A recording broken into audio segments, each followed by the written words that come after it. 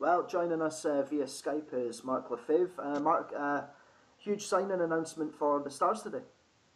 Yeah, we signed uh, goalie Travis Fullerton from the Edinburgh Capitals to be our number one goaltender for the season.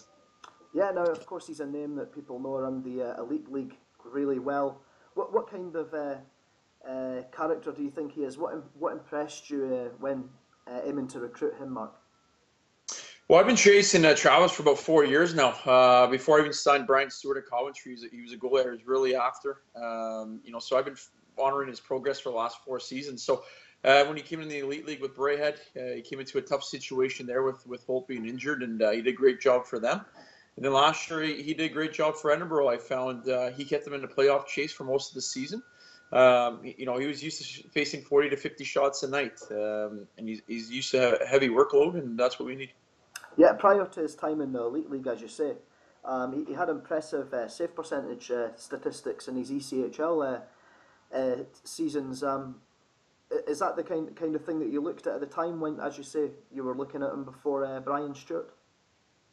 Yeah, exactly. I mean, he, he faced the most shots in the in the East Coast uh, when he's playing in Las Vegas, and um, you know, and he stopped the most shots, so he had a great save percentage there. He, uh, I, I've known other players that played with him in the coast and both in Braehead as well and in Edinburgh, and uh, obviously he's got a great, great character off the ice. And uh, you know, you need your number one goalie in this league to play a lot of games, and uh, I think he's going to create a great partnership with the Sheepdog. Yeah, of course. Um, last year, I'm sure fans will remember the games when uh, Travis uh, caused the Stars frustration um, at times when the Stars were constantly on the neck of him, but he just seemed to make them wonder saves and, and make it difficult for the Stars at the time. Well, there's a few games that stick out in mind. There's a game uh, just before Christmas. Uh, he played injured, uh, and he probably shouldn't have started, but he beat they beat us in overtime, and he was one of the reasons for that. And you know, even the game they beat us in a shootout in January, he made a great save on a penalty shot on on Justin in, in the in the overtime and obviously he got the made some great saves in the shootout. But uh, you know, consistently he's one of the better goalies in the league. I found last year. He knows the league well, um, and like I said, I've been chasing him for about four years, so it's great to have him in the Stars jersey. Yeah, no, of course um, you'll be coming in to replace Joe Fallon, and, and Joe had a lot of shots on him at times last year. Is, is that in your mind, Mark, when making this signing that? You want the goalie who's able to cope with that pressure, and as you say, we'll be playing a lot of a lot of games.